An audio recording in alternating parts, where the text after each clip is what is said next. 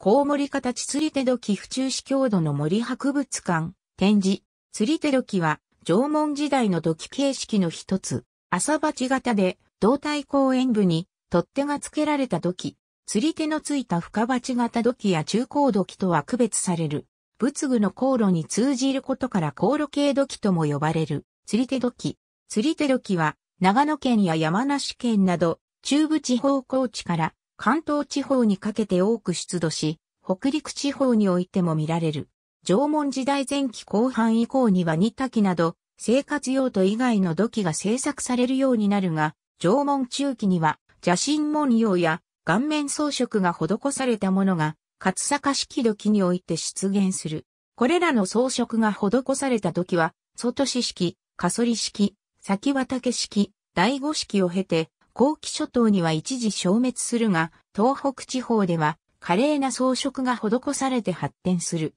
1924年に鳥居隆三が諏訪市において釣り手ある土器として紹介する。その後、八幡一郎や藤森栄一、宮城隆之らによって、形態分類が行われた。八幡は釣り手を、球状のものと味方から中央に集まるものに2分し、藤森は3、窓式、天外式、2、窓式、取っ手式の4分類を提示している。取っ手は単数、または複数で、橋状や十字、三叉状、バスケット状など機種は多様で、頂点はほぼ中心部に限られる。釣り手部分には、イノシシやヘビなど動物文様や人面装飾が施されている。釣り手時は、採取に関係する立石や石棒などと共犯関係があり、公園部の昇降と胴体のつば状高主体を特色とし同じく採取用途と考えられている有効つば付け河原家と共に集落において希少で、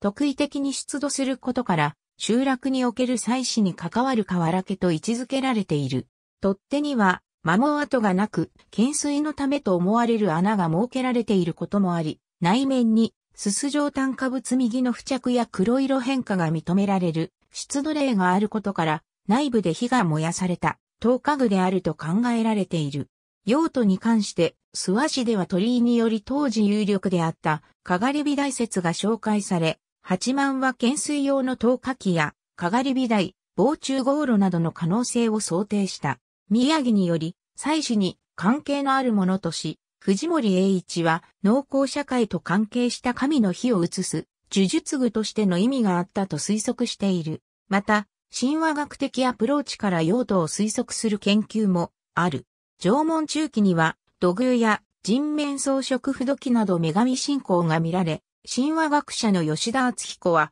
人面装飾不の釣り手土器を体内に火の神を宿し、母体を焼かれる女神を表現しているとし、オセアニアからアメリカ大陸に及ぶ火と食物に関わる神話文化圏の西北端に属すると位置づけられている。また、日本神話の源流を縄文文化に求める小林、広明や田中はじめも同様の推測を行う。これらの神話学的アプローチを受け、考古学者の渡辺誠らは、釣り手時や有効つばつけ時などに見られる動物文様の意味に関しても推測を行っている。ありがとうございます。